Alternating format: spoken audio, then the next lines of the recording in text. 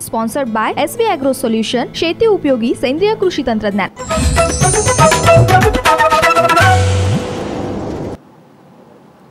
आता पाहूयात कृषी क्षेत्रातल्या महत्त्वाच्या बातम्या ॲग्रो ट्वेंटी ट्वेंटीमधून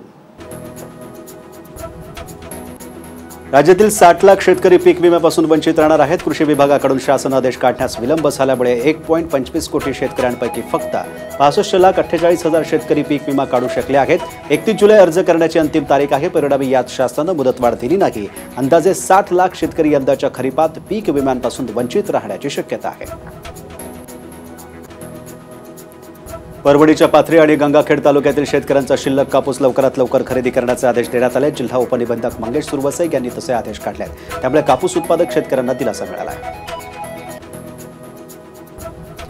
परभणीमध्ये आतापर्यंत तीनशे एक्क्याण्णव कोटी रुपयाच्या कापसाची खरेदी करण्यात आली आहे. तालुक्यातील पाच हजार शेतकऱ्यांकडून सात लाख सोळा हजार तीनशे अठ्ठ्याऐंशी क्विंटल कापसाची खरेदी करण्यात आली आहे. ऑनलाईन नोंदीने ही कापूस खरेदी करण्यात आली तर सर्व शेतकऱ्यांचा कापूस खरेदी होऊन चुकारे वेळेत मिळत असल्यानं शेतकऱ्यांमध्ये समाधानाचं वातावरण आहे.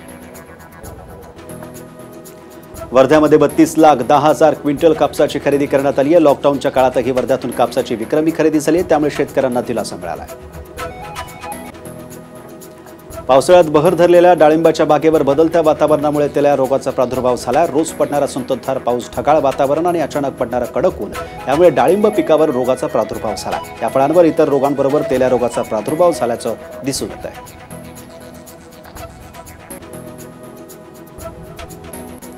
सांगलीच्या शिराळा तालुक्यात जून महिन्यात अतिवृष्ट झाली. मात्र गेल्या पंधरा ते वीस दिवसांपासून पावसानं उघडीप दिली असल्यानं भात पिकाची वाढ खुंटली आहे. अनेक ठिकाणी पीक कोमेजून लागले आहेत. त्यातच भात पिकावर रोगाचा प्रादुर्भाव होऊ लागलाय. परिणामी उत्पादन घटण्याची शक्यता वर्तवण्यात येते. प्रहार शेतकरी संघटनेच्या कार्यकर्त्यांनी फेकले. जिल्हा कृषी अधीक्षकांच्या टेबलावर शंख किडे फेकून आंदोलन केलंय. गेल्या काही दिवसांपासून अमरावती जिल्ह्यातील चांदूर बाजार तालुक्यातील शेतातील पिकांवर शंखाच्या आकाराच्या आळीनं कव्हर केला. त्यामुळे सध्या सोयाबीन कपाशी तूर संत्रा भाजीपाला पिकांचं मोठ्या प्रमाणात नुकसान होत आहे. त्याबाबत कृषी विभागानं शेतकऱ्यांना मार्गदर्शन करणं आवश्यक असून कृषी विभागानं कोणतीही दखल न घेतल्यानं संतापलेल्या शेतकरी आणि प्रहार कार्यकर्त्यांनी जिल्हा कृषी अधीक्षक विजय चव्हाळे यांच्या कक्षातील टेबलवर शंखकिडे फेकून संताप व्यक्त केला. Sponsored by S B agro solution शेती उपयोगी सेंद्रिय कृषी तंत्रज्ञान